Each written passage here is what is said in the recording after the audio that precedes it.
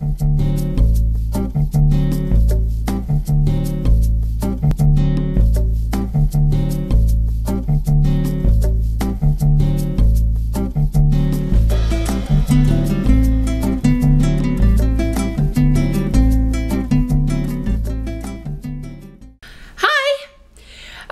So I wanted to do a quick um, outfit of the day. Um, my trusty helper isn't available at the moment, so um, hopefully this will turn out okay.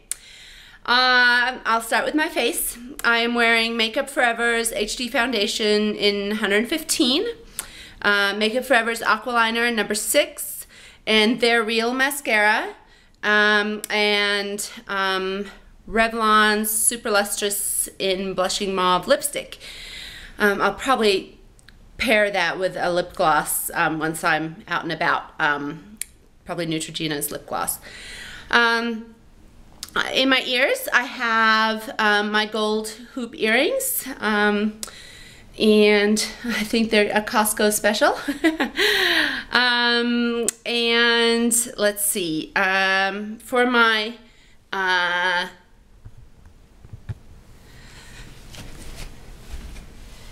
For my top, I have on um, a J. Jill sort of loose sweater. Um, I think it's sort of a box-shaped sweater. Um, I really, really like it. It's um, just cotton. Um, underneath, I have just a white J. Jill tank top um, and a belt I got at the Grand Canyon ages and ages and ages ago. See. Just a western belt with rhinestones. Um, and since I've got the rhinestones, I'm wearing um, rhinestone sort of cuff bracelet. I got at Kohl's. I think it was Vera Wang, but um, not exactly sure. I know I got it at Kohl's.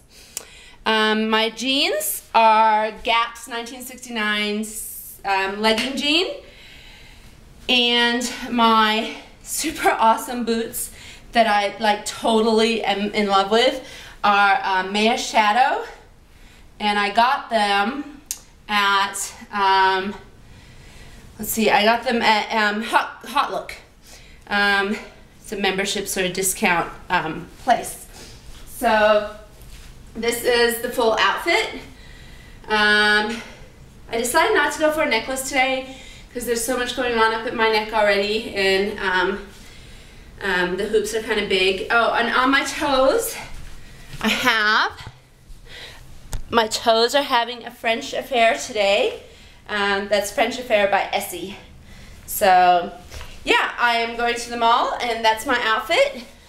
And hopefully that didn't make you too dizzy. Okay, talk to you later.